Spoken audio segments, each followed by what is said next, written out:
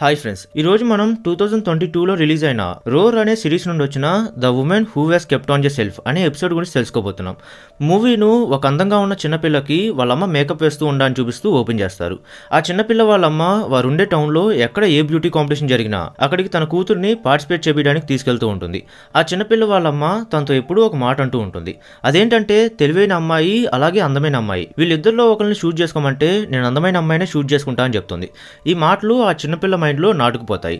ఆ చిన్న అమ్మాయి పెరిగి పెద్దవుతుంది. ఆ అమ్మాయే మన కథలో హీరోయిన్. మన హీరోయిన్ పేరు అమెలియా. చిన్నప్పుడు ఎంత అందంగా ఉండేదో ఇప్పుడు అంతకంటే రెట్టింపు అందంతో ఉంటుంది. మన హీరోయిన్ మంచి సూపర్ మోడల్గా ఇమేజ్ సంపాదించుకొని తను చేస్తున్న పనిలో చాలా సక్సెస్ను సాధించి ఉంటుంది అలాగే ఒకవైపు ఎంత సక్సెస్ వచ్చినా తన జాబ్ తనకి బోరింగ్గా అనిపిస్తూ ఉంటుంది. ఎందుకంటే గడుస్తున్న ప్రతి గంట గడిచే ప్రతి నిమిషం తనకి బోరింగ్గానే ఉంటుంది. ఎక్కడ చూసినా ఫోటోగ్రాఫర్స్ తన ఫొటోస్ కోసం వెంటబడుతూ క్రీపీ ఫొటోస్ తీస్తూ తను ఇబ్బంది పెడుతూ ఉంటారు. ఒకరోజు తను రన్వేలో పార్టిసిపేట్ చేస్తూ ఉండగా అక్కడికి హ్యారీ అనే ఒక పెద్ద బిలీనీర్ వస్తాడు. చూడగానే మన హీరోయిన్కి పడిపోయి పిచ్చివాడిలాగా తన్నే చూస్తూ నవ్వుతూ ఉంటాడు.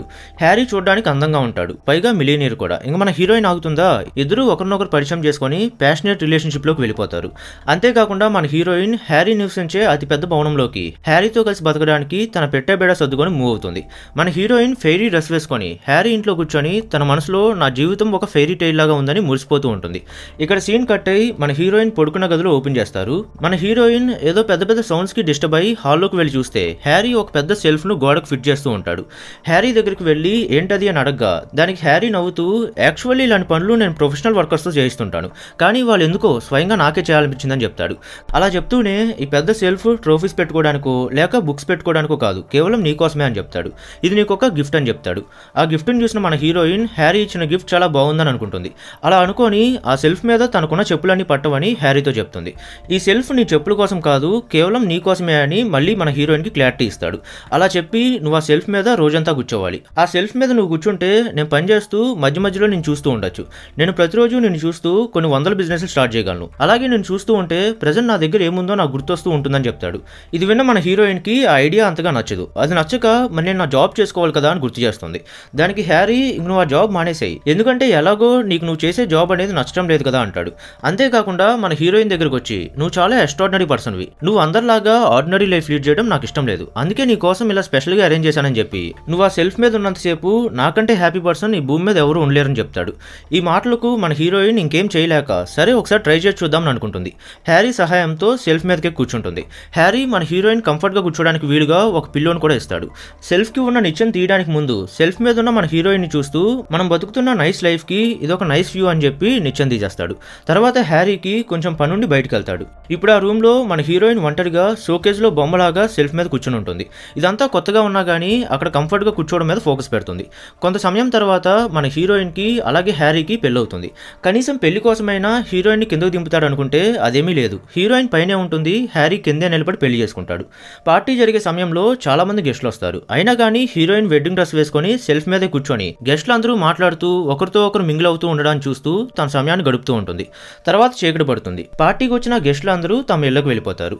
వెడ్డింగ్ నైట్ను తన భార్యతో గడపడానికి హ్యారీ ఆ సెల్ఫ్ మీదకి వెళ్ళి తన భార్యతో ఆ రోజు నైట్ మొత్తం ఆ సెల్ఫ్ మీద గడుపుతాడు. కొన్ని రోజులు గడుస్తాయి. రోజులు గడుస్తున్న కొద్దీ సెల్ఫ్ మీద కూర్చున్న మన హీరోయిన్ తనకు బోర్ కొట్టకుండా ఉండడానికి తనను తాను బిజీగా ఉంచుకోవడానికి బుక్స్ చదువుతూ నెయిల్ పాలిష్ చేసుకుంటూ ఎక్సర్సైజ్ చేసుకుంటూ ఇలా ఏదో ఒకటి చేస్తూ ఉంటుంది. మన హీరోయిన్ వర్కౌట్ చేస్తున్న సమయంలో వచ్చే హార్ట్ బీట్ శబ్దాల వలన హ్యారీ బిజినెస్ ఫోన్ కాల్స్ నుండి డిస్ట్రాక్ట్ అవుతూ ఉంటాడు. కానీ దాన్ని అంతగా పట్టించుకోడు. నిజానికి నువ్వు చేసే బ్రీతింగ్ శబ్దాలకు డిస్ట్రాక్ట్ అవ్వకుండా నేనే ఏదో ఒక ఆల్టర్నేటివ్ వెతుక్కోవాలని చెప్తాడు. అలాగే ప్రతిరోజు మంచి మంచి ప్రజెంట్స్ తెస్తూ ఉంటాడు. ఎలాంటి ప్రజెంట్స్ అంటే అందమైన పూల బొక్కే మెడిసే నగలు డెలిషియస్ చాక్లెట్స్ ఇలాంటివి రోజు తెచ్చి హీరోయిన్కి ఇచ్చి ప్రతి ఒక్క హాలిడేను అలాగే ఫారెన్ హాలిడేను కూడా సెలబ్రేట్ చేస్తూ ఉంటాడు. ఇదంతా మూడు నాళ్ళు ముచ్చటే అని కొన్నాళ్ళకి మొదట్లో ఉన్న ఎగ్జైట్మెంట్ మొత్తం పోతుంది. ఎప్పుడూ సెల్ఫ్ మీద కూర్చొని ఉండటం వల్ల చాలా బోరింగ్ అనిపిస్తుంది మన హీరోయిన్కి కనీసం ఆ ఇంట్లో పనిచేసే పని మనిషి కూడా హీరోయిన్తో మాట్లాడదు. ఇలా సెల్ఫ్ మీద కూర్చుని ఉండటం అనేది తన స్వతంత్రాన్ని స్వేచ్ఛగా బతికే తన జీవితాన్ని స్వయం సంపాదనను దోచుకున్నట్లు అనిపిస్తుంది. రాను రాను హ్యారీ మన హీరోయిన్ని పట్టించుకోవడం మానేస్తాడు. కేవలం ఆ రూమ్ నుండి వెళ్ళే ముందు ఫ్లయింగ్ కిస్ పెట్టడానికి తప్ప ఇంకా దేనికి మన హీరోయిన్తో పని ఉండదు. ప్రతిరోజు ప్రేమగా తెచ్చే ప్రజెన్స్ని కూడా తేవడం ఆపేస్తాడు. ఇంతకుముందు మన హీరోయిన్ ఎక్సర్సైజ్ చేసేటప్పుడు వచ్చే బ్రీతింగ్ సౌండ్స్ని ఎంజాయ్ చేసే హ్యారీ ఇప్పుడు ఆ సౌండ్స్ విని చాలా చిరాగ్గా ఫీల్ అవుతాడు. మన హీరోయిన్ మాట్లాడడానికి ట్రై చేస్తున్నా కానీ ఇగ్నోర్ చేస్తాడు. కనీసం మన హీరోయిన్ని హమ్ కూడా చేయనివ్వడు. ఒక మాటలో చెప్పాలంటే కేవలం షోకేజ్లో ఉండే ఉలుకు పలుకు లేని బొమ్మలాగా మార్చేస్తాడు. చివరిగా తన కోసం హీరోయిన్ వేసుకునే అందమైన డ్రెస్సెస్ని కూడా నోటీస్ చేయడం మానేస్తాడు. అంతేకాకుండా కాకుండా హ్యారీ డెస్క్ వరకు నేచురల్గా వచ్చే సన్లైట్ రావడం లేదని డెస్క్ని అటువైపుకి తిప్పించేస్తాడు. ఇంతకు ముందైనా హ్యారీ మాట్లాడకపోయినా అట్లీస్ట్ అతను మొహమైనా చూస్తూ ఉండే మన హీరోయిన్కి ఇప్పుడు హ్యారీ బ్యాక్ మాత్రమే కనిపిస్తూ ఉంటుంది. ఏడుపు ఆపుకోవడానికి ఎంత ట్రై చేసినా కానీ ఆమె కళ్ళల్లో కన్నీళ్ళు వస్తూ ఉంటాయి. ఇక్కడ సీన్ కట్ అయి త్రీ ఇయర్స్ లేటర్ అని క్యాప్షన్ పడి మన హీరోయిన్ ఇంకా సెల్ఫ్ మీదనే కూర్చుని ఉన్నట్లు చూపిస్తారు. హ్యారీ వర్క్ నుండి రావడం మన హీరోయిన్ గమనిస్తుంది. కానీ హ్యారీ మన హీరోయిన్ దగ్గరికి కూడా వెళ్ళడు. మొత్తానికి మన హీరోయిన్ మీద బోర్ ఫీలింగ్ వచ్చి ఉంటుంది. హ్యారీ మన హీరోయిన్ షోకేజ్లో ఉన్న బొమ్మ బొమ్మలాగా చూస్తున్నాడు కానీ ఎమోషనల్గా మన హీరోయిన్కి ఎలాంటి కంఫర్ట్ ఇవ్వడం లేదు. ఫ్రస్ట్రేట్ అయిన హీరోయిన్ గట్టిగా అరుస్తుంది. అయినా కానీ హ్యారీ నుండి ఎలాంటి రెస్పాన్స్ ఉండదు. ఈ ఒక్క సంఘటన మన హీరోయిన్ హార్ట్ను బ్రేక్ డౌన్ చేస్తుంది. ఇంకా సెల్ఫ్ మీద నుండి కిందకి దిగాలని డిసైడ్ అవుతుంది. నిజానికి ఆ సెల్ఫ్ అంతా హైట్లో ఏముండదు కానీ ఫోర్ ఇయర్స్ నుండి మన హీరోయిన్ అస్సలు కిందకి దిగి ఉండదు కాబట్టి తన దృష్టిలో ఏదో పెద్ద బిల్డింగ్ మీద దిగుతున్నట్టు ఫీల్ అవుతుంది. కిందకి దిగడానికి చాలా భయపడుతూ ఉంటుంది. ఒకసారి తన కాలుకున్న షూను తీసి కిందకు వేసి చూస్తుంది. వన్స్ అది కింద పడిన తర్వాత ఇంకా భయంకరమైన భయం వేస్తుంది. ఎంత భయం వేసినా కిందకి దిగాలని ఫిక్స్ అయిపోయింది కాబట్టి ఎలాగోలా కిందకు దూకేస్తుంది. మనకు చూడడానికి అది చాలా చిన్న ఎత్తులో ఉన్నప్పటికీ హీరోయిన్ దృష్టిలో మాత్రం అది చాలా హైట్లో ఉన్నట్టు ఊహించుకుంటుంది కాబట్టి ఏదో పెద్ద బిల్డింగ్ పై నుంచి దూకినట్టు స్కారీగా ఫీల్ అవుతుంది. కానీ కింద పడ్డాక చాలా సర్ప్రైజ్ అవుతుంది. ఎందుకంటే తనకు దెబ్బలేమీ తగలవు. లేచి నడవడానికి చూస్తుంది కానీ సరిగ్గా నడవలేకపోతుంది. ఎందుకంటే కొన్ని సంవత్సరాల వరకు తన కాళ్ళను ఉపయోగించలేదు కాబట్టి రూమ్లో ఉన్న ఫర్నిచర్ని పట్టుకొని మెల్లిగా నడవడానికి ట్రై చేస్తుంది. మెల్లిమెల్లిగా నడుస్తూ బయటికి రాగానే తన మొహం మీదకు వీచిన చల్లని గాలిని ఆస్వాదిస్తూ ప్రపంచాన్ని కొత్తగా చూసినట్లు ఎగ్జైట్ అవుతుంది. ఒక చిన్న పిల్లలాగా తన గురించి తాను మళ్ళీ డిస్కవర్ చేసుకుంటూ అటు ఇటు చిందులు వేస్తూ ఒక పిచ్చిదానిలాగా బిహేవ్ చేస్తుంది. త్రీ ఇయర్స్ తర్వాత మొదటిసారి బయటకు వచ్చింది కాబట్టి మొదట్లో నడవడానికి ఇబ్బంది పడుతుంది కానీ తర్వాత తర్వాత బాగానే నడవగలుగుతుంది. ఒక పోల్కి చుట్టూ తిరుగుతూ ఇప్పుడు నేను కూడా సొసైటీలో ఒక భాగంగా ఉన్నా అని ఫీల్ అయ్యి ఎగ్జైట్ అవుతుంది. దారిని పోయే వారందరినీ పలకరిస్తూ హాయ్ చెప్తూ ఎవరో తెలియని వ్యక్తిని లిఫ్ట్ అడిగి అతనితో పాటు రైడ్కి వెళ్తుంది. ఆ ట్రిప్ చాలా థ్రిల్లింగ్గా ఉండటం వలన చాలా ఫన్గా ఫీల్ అయ్యి అటు నుంచి అటు ఒక బీచ్కి వెళ్తుంది. అలా సముద్రంలోని ఒక చల్లని అలా ఆ మొహానికి తాకటం వల్ల ఒడ్డుకు వస్తుంది. దీనివల్ల మన హీరోయిన్ ఫైనల్గా తన చుట్టూ ఏం జరుగుతుందో అర్థం చేసుకుంటుంది. ఇప్పుడు రియాలిటీలోకి వస్తుంది. సముద్రం నుండి బయటకు వచ్చి అక్కడ కూర్చున్న కపుల్తో మాటలు కలిపి కొంచెం టవల్ ఇస్తారా ప్లీజ్ అని అడుగుతుంది. కానీ వారు మన హీరోయిన్తో మాట్లాడడానికి అంత ఇంట్రెస్ట్ చూపించరు. అలాగే టవల్ కూడా ఇవ్వమని చెప్తారు. సో అలాగే చలికి వణుకుతూ మళ్ళీ టౌన్ మొత్తం తిరగాలని నిర్ణయించుకుంటుంది. అలా టౌన్లో తిరుగుతూ ఉన్నప్పుడు ఒక మేకప్ షాప్ కనిపిస్తుంది. ఆ షాప్ అద్దంలో నుండి చూస్తే అక్కడ కొంతమంది ఆడవారు మేకప్ చేయించుకుంటూ ఉంటారు. ఆ అర్థంలో తన మొహాన్ని చూసుకుంటే అప్పటికే తన మొహం మీద ఉన్న మేకప్ మొత్తం చెరిగిపోయి ఉంటుంది. మళ్ళీ తను అందంగా కనిపించాలని ఆశతో ఆ స్టోర్లోకి వెళ్తుంది. అక్కడ స్టోర్ వారు పెట్టిన ఫ్రీ మేకప్ శాంపుల్స్ని తీసుకొని వాటితో మొహాన్ని క్లీన్ చేసుకొని మళ్ళీ మేకప్ వేసుకుంటుంది. మన హీరోయిన్ మేకప్ స్కిల్స్ చూసి ఆ స్టోర్లో పనిచేసే జార్డన్ ఇంప్రెస్ అవుతుంది. ఆమె ఎప్పటి నుండో ఆ మేకప్ స్టోర్లో పనిచేస్తున్నా కానీ మేకప్ సూపర్గా రావడానికి చాలా టైం పడుతుంది. కానీ తను క్షణాల్లో వేసుకోవడం చూసి ఆశ్చర్యపోతుంది. జోర్డెన్ మన హీరోయిన్తో నువ్వేమైనా మేకప్ ఆర్టిస్ట్వా? అని అడుగుతుంది. అందుకు మన హీరోయిన్ నేను మేకప్ ఆర్టిస్ట్ని కాదు. నేను నా మిలీనియల్ హస్బెండ్కి ట్రోఫీ లాగా సెల్ఫ్ మీద కూర్చునే ఒక అమ్మాయినని చెప్తుంది.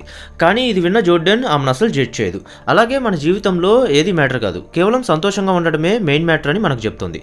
జీవితంలో సంతోషంగా బతకాలి. అదొకటే మా అమ్మ నాకు నేర్పించిందని చెప్తుంది. ఇది విన్న మన హీరోయిన్ వాళ్ళ అమ్మ తన చిన్నప్పటి నుండి చెప్పే బ్యూటీ ఓవర్ బ్రెయిన్ అనే ఫిలాసఫీని చెప్తుంది. దానికి జోర్డెన్ మాట్లాడుతూ అసలు ఈ రెండిట్లో ఒక దాన్ని చూట్ చేసుకోవాల్సిన అవసరమే లేదు. రెండింటిని కలిగి ఉండొచ్చు కదా అని చెప్తుంది. ఇది విన్న మన హీరోయిన్ చాలా సంతోషంగా ఫీల్ అవుతుంది. ఎందుకంటే మన హీరోయిన్ ఎప్పుడూ ఇలా ఆలోచించలేదు కాబట్టి. మన హీరోయిన్ స్టోర్ నుండి వెళ్ళేటప్పుడు జోర్డెన్ కొన్ని మేకప్ వస్తువులను మన హీరోయిన్కి అమ్మాలని ట్రై చేస్తుంది. కానీ మన హీరోయిన్ దగ్గర డబ్బులు లేక అవేం తీసుకోదు. కొంత సమయం తర్వాత మన హీరోయిన్ మళ్ళీ తన ఇంటికి తిరిగి వెళ్తుంది. వెళ్ళాక ఆమె మూడు సంవత్సరాలు కూర్చున్న సెల్ఫ్ వైపే చూస్తూ ఉంటుంది. కొంతసేపు ఆలోచించిన తర్వాత ఒక స్టిక్ను తీసుకొని సెల్ఫ్ని పాల్గొట్టడం స్టార్ట్ చేస్తుంది. కొంచెం సమయం వరకు సెల్ఫ్కి ఏమీ అవ్వదు. కానీ హీరోయిన్ పట్టు వదలకుండా కసితో కొట్టడంతో మెల్లిమెల్లిగా సెల్ఫ్ విరిగిపోయి పడిపోతూ ఉంటుంది. ఆ సెల్ఫ్ పడిపోతూ ఉండడం హీరోయిన్కి చాలా సాటిస్ఫైయింగ్గా అనిపిస్తుంది. కొట్టి కొట్టి చివరికి అక్కడ సెల్ఫ్ లేకుండా చేస్తుంది ఇక్కడ సీన్ కట్ అయి వన్ ఇయర్ లేటర్ అని క్యాప్షన్ పడి ఒక స్టోర్ని చూపిస్తూ ఆ స్టోర్కి జనాలు క్యూ కట్టడానికి చూపిస్తారు. ఆ స్టోర్ ఎవరిదో కాదు మన హీరోయిన్ తన సొంత పేరునే బ్రాండ్గా చేసి మేకప్ స్టోర్ స్టార్ట్ చేసి ఉంటుంది. ఆ స్టోర్ పెద్ద సక్సెస్ అయి ఉంటుంది. ఎప్పుడు చూసినా పెద్ద పెద్ద క్యూలో జనాలు అక్కడ నిలబడి ఉంటారు. ఆ స్టోర్లో కూడా విచిత్రంగా మన హీరోయిన్ సెల్ఫ్ మీద కూర్చొని గతాన్ని మళ్ళీ రిపీట్ చేస్తుంది.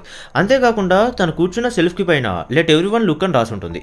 దీనికి అర్థం నేను స్మార్ట్ అలాగే ప్రెట్టి కూడా. రెండింటిని కలిగి ఉన్నాను కాబట్టి నా సొంత బిజినెస్ను సక్సెస్ చేసుకోగలిగానని రిప్రజెంట్ చేస్తూ అక్కడ కూర్చొని ఉంటుంది.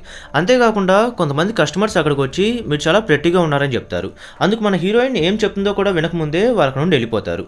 తన మనసులో ఇప్పటికీ నేను ఒక లివింగ్ ట్రోఫీ లాగే బతుకుతూ ఉన్నాను అనుకుంటుంది. ఇక్కడ మూవీ ఎండ్ అవుతుంది. ఈ మూవీ నుండి మనం తెలుసుకోవాల్సిన విషయం ఏంటంటే మన జీవితంలో మన పిల్లలకి ఏమి ఇవ్వకపోయినా వారేం నష్టపోరు. కేవలం మేము ఉన్నామనే భరోసా నువ్వు దేన్నైనా సాధిస్తావు అనే ఒక నమ్మకాన్ని ఇవ్వాలి. ఇతర పిల్లలతో కంపేర్ చేయకుండా మన పిల్లల కెపాసిటీ ఎంతో వారిని అంతవరకే సపోర్ట్ చేయాలి. ఈ మూవీలో హీరోయిన్ వాళ్ళమ్మ నువ్వు అందంగా ఉంటావు ఉండాలి కూడా. ఎందుకంటే తెలివైన వారి కంటే అందమైన వారినే జనాలు చూజ్ చేసుకుంటారని హీరోయిన్లో నూరు పోసి ఇలా తయారు చేస్తుంది. సో ఈ వీడియోకి ఇంతే ఫ్రెండ్స్ ఈ మూవీ మీకు ఎలా అనిపించింది? కింద కామెంట్ చేసి చెప్పండి. మళ్ళీ ఎప్పటిలాగే నెక్స్ట్ వీడియోలో కలుసుకుందాం. Thanks for watching